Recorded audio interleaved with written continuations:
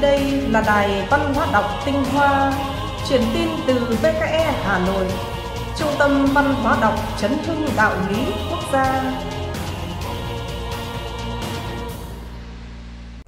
Xin kính chào quý vị.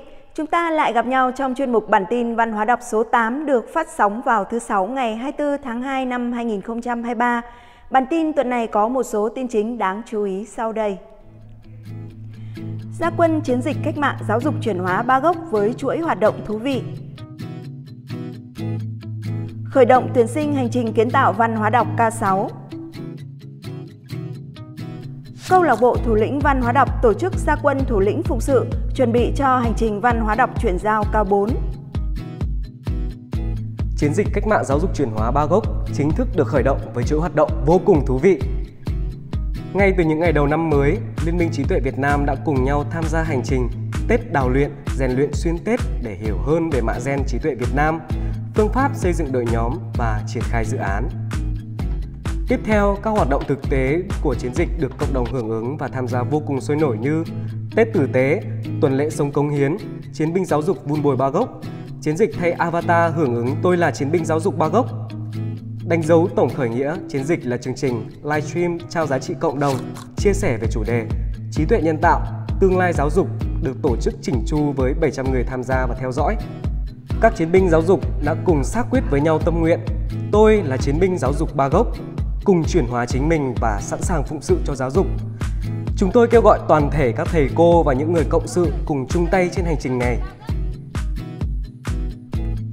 Vâng, tuần vừa qua, cộng đồng văn hóa đọc trí tuệ Việt Nam đã sôi sục truyền tay nhau về một hành trình rèn luyện bản thân vô cùng khắc nghiệt nhưng cũng đầy bổ ích, hành trình kiến tạo văn hóa đọc K6.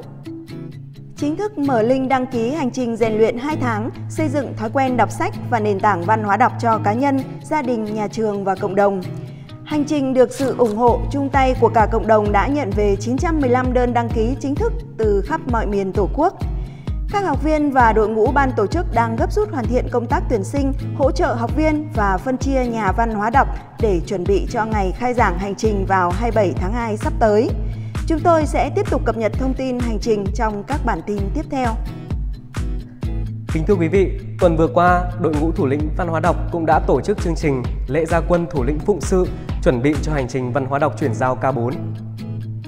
Đây là hành trình được anh chị em học viên truyền tai nhau rằng là một trong những hành trình khét nhất trong các khóa học tại BKE GNH.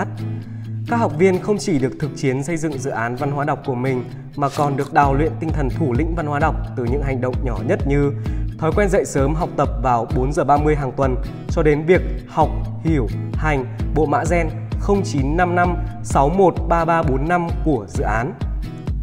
29 đồng chí gia quân làm thủ lĩnh phụng sự, sẵn sàng chuẩn bị đón học viên. Hãy theo dõi thông tin trên các kênh của Trí tuệ Việt Nam để tham gia ngay hành trình này nhé. Những thông tin trên đây đã khép lại chương trình bản tin văn hóa đọc 24 trên 7 số 8 của kênh Tinh Hoa Văn hóa đọc. Chúng tôi sẽ trở lại với quý vị trong bản tin tuần tiếp theo. Chương trình được phát sóng vào tối thứ sáu hàng tuần trên tất cả các kênh của Văn hóa đọc. Mời quý vị truy cập vào trang thông tin chính thức của Trí tuệ Việt Nam để nhận thông tin chi tiết các hành trình.